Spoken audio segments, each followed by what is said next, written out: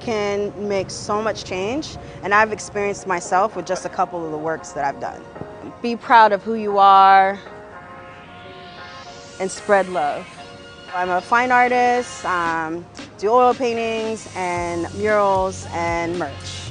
Oh yeah, that's nice. I'd wear I that. love that. United Way, uh, who would have known you guys would be supporting me and my work, you know? Doing projects like that means the world to me. You know, being able to stand for something that really matters. To me, what's inspiring me is kind of like the culture of like someone out at a park, at a picnic, you know. Um, you have a lot of young mothers right now. So I was thinking of some girlfriends kind of hanging out at a park.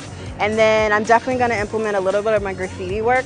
What's cool about United Way is I actually have used the services years ago because I am a single mom. So I called them and they gave me like five resources in my neighborhood to call. Those things